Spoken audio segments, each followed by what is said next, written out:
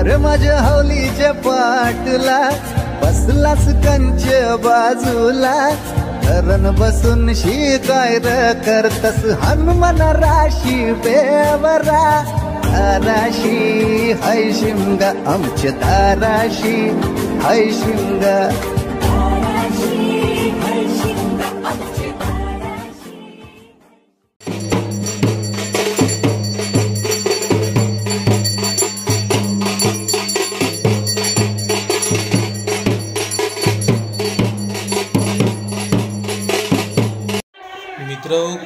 कोकणामध्ये जी होळी असते जी होळी बांधली जाते ती असते माडाची नारळाच्या झाडाची. तर आता बघा कसं आमच्या हातकांबा गावातले सर्व गावकरी मिळून कसं एकाग्रतेने आणि मेहनतीने हा पन्नास फुटापेक्षाही मोठा असा माड इथे घे काढतायत. आणि नंतर तो कसं व्यवस्थितरित्या दोरीने खाली खेचत खेचत हळूहळू तो तो माड नंतर पुढे होळीकुंडाजवळ नेला जाणार आणि तिथे तो होळी म्हणून तिथे बांधला जाणार.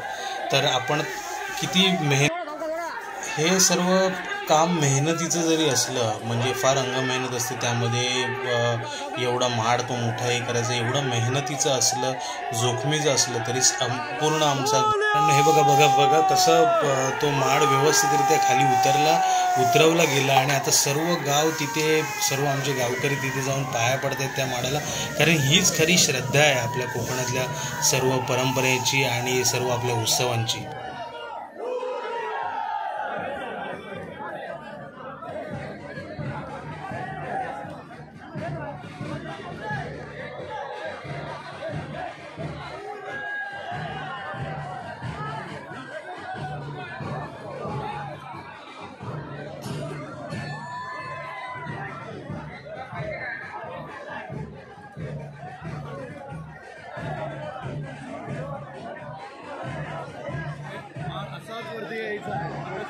शिमगा. आमचे हाय शिमगा. सण शिमग्याचा आयलाय रे आमचे गावा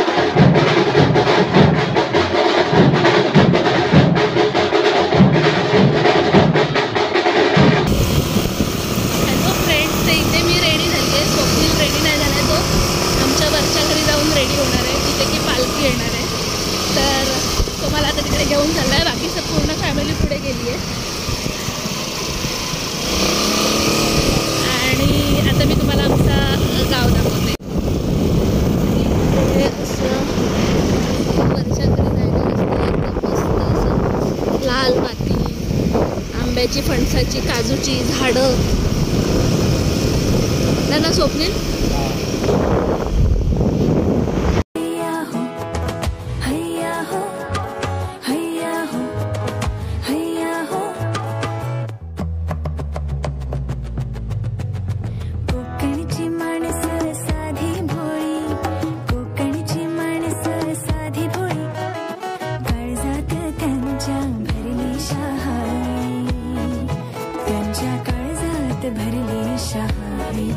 त्यांच्या काळजात भरली शहाळी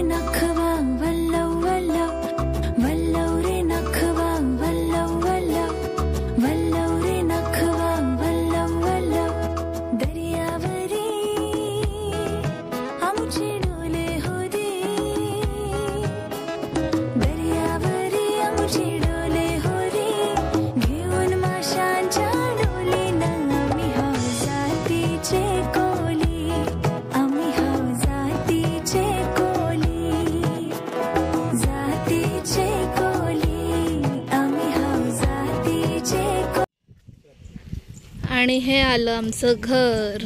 हे बघा इकडे आहे. हे बॅक साईड आहे. तिथे गोठा आहे.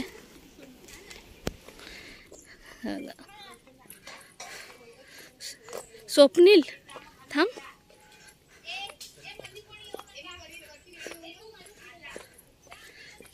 हे बघा ही आहेत नारळाची झाडं.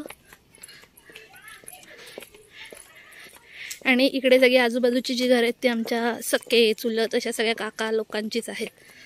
है ना रे स्वप्नील?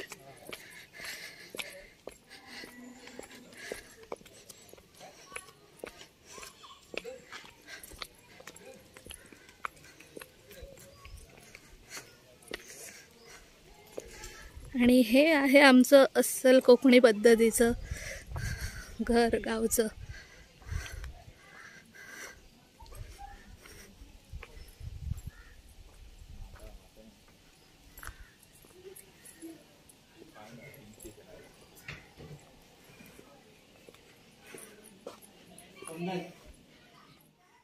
इकडे सगळेजण छोटे छोटे आमचे चिल्लर कंपनी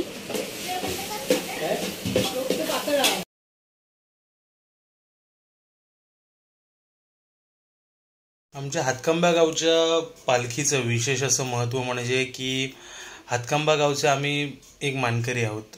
ज्या दिवशी पालख्या चालू होतात सुरुवात होते त्या दिवशीचा तिसरा मान हा गावातला आमचा आहे देसाई कुटुंबियांचा. तर एक पूर्वापार चालत आलेली पद्धत म्हणजे आमच्या घरातली म्हणजे जी आमच्या पूर्वजांपासून चालू केलेली आहे ती आत्तापर्यंतच्या आम्ही सर्व पिढ्यांनी जी कायम ठेवलेली आहे ती म्हणजे जो अख्खा गाव आमच्याकडे पालखी घेऊन येतो जे सगळे गावकरी आमचे गुरव सर्व घेऊन येतात. त्या सर्वांना एक छोटीशी सेवा म्हणून आमच्या वतीनं देसाई परिवाराकडनं आम्ही एक स्नेहभोजन छोटंसं एक जेवणाचं हे असतं. कारण की ते फार मेहनतीचं काम आहे पालखी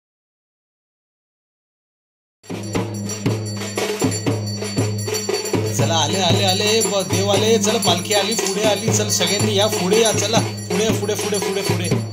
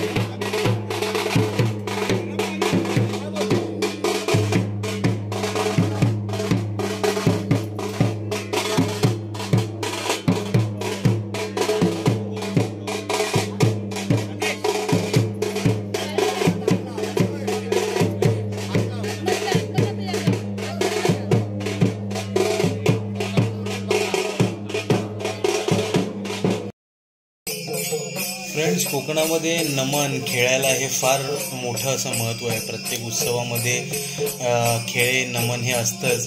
तर आता बघा कसं समोर एक वेगळ्याच तालावर नाल आणि ताशा आणि ढोलकीच्या तालावर कसं इथे खेळे नाचतायत. संकासूर देखील आहे. आणि सर्व लहान मुलांना पण एक वेगळं अप्रूप असतं या सगळ्याचं. तर हा पण एक वेगळा असा सोहळा या सोहळ्यामध्ये वेगळा असा कार्यक्रम असतो तो पण एकदम बघण्यासारखा असतो.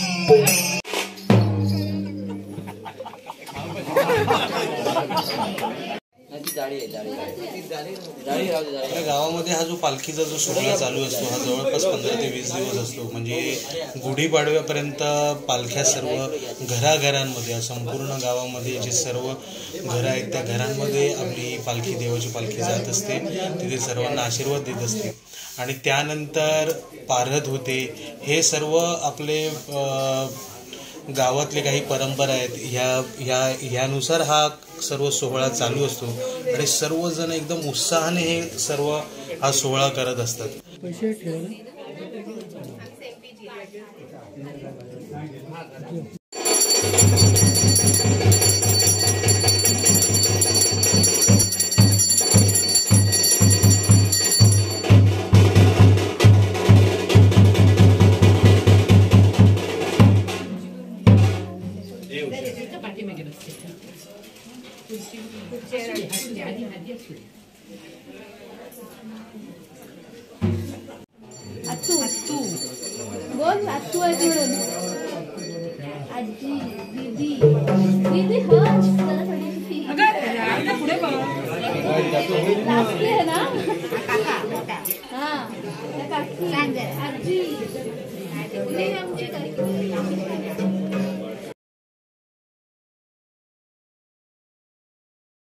आणि प्रतिवर्षाप्रमाणे प्रियंकाने याही वर्षी देवाची देवीची इथे क साडी चोळीने इथे ओटी भरलेली आहे.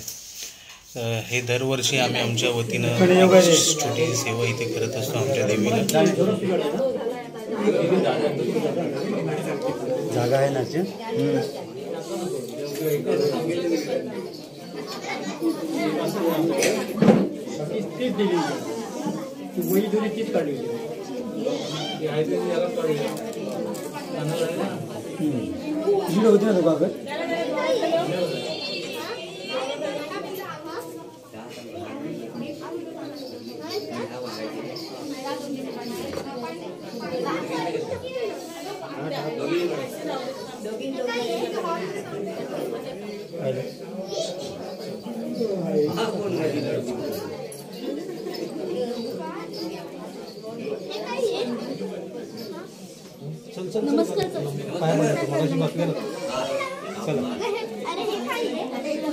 हो.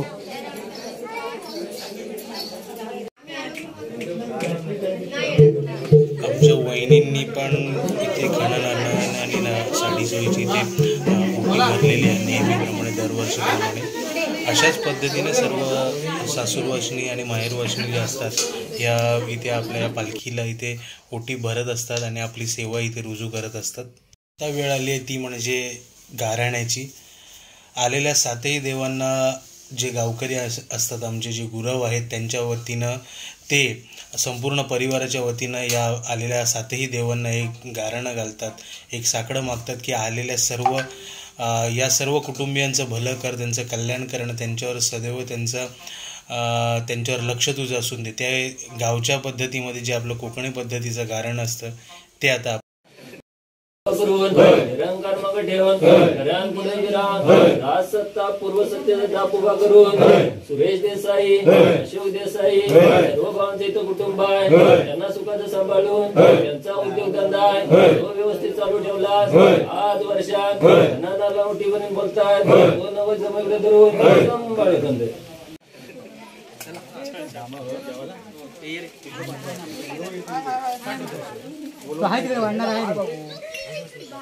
व्यवस्थित अरे भरून आणतो